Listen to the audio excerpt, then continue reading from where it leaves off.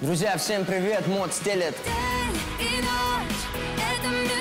Если ты думаешь, что в шоу-бизнес нельзя попасть честным путем, ты ошибаешься.